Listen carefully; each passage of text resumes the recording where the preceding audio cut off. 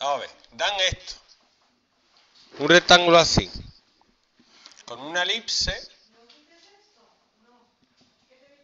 Aquí. Y otra elipse aquí. Es un ojo.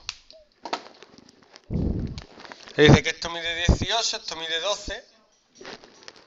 Y de aquí a aquí mide 8. Y me pide el área de la zona coloreada. Aquí hay dos zonas coloreadas. Una en verde, que es esta.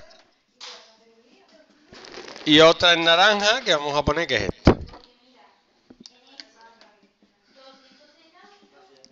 Entonces, ¿cómo calculo la verde? Yo sé que esto mide 8 y que esto mide 12. Y tiene que haber alguna fórmula para la elipse, ¿sí o no? ¿O no la hay? Yo no sé si la hay. Está aquí, ¿no? Yo no me la sé.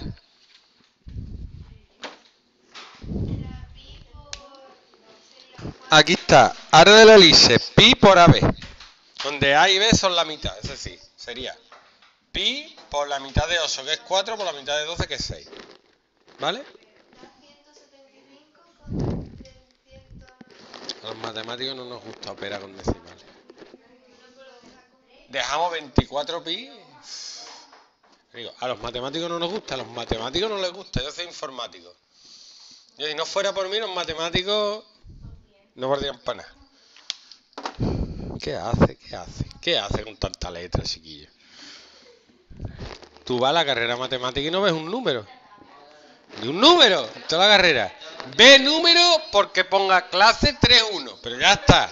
Esos son los únicos números que ves. Reíros, reíros. Sí. Y ahora para calcular los rojos, lo que me hago es que cojo esta elipse, la más grande. Sé que esto mide 18 y esto 12 y calculo su área.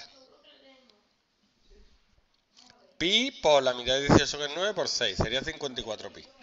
Y el área de esto sería el área de rectángulo total, el área de rectángulo es 18 por 12 menos el área de la de la elipse, ¿vale? 54 pi.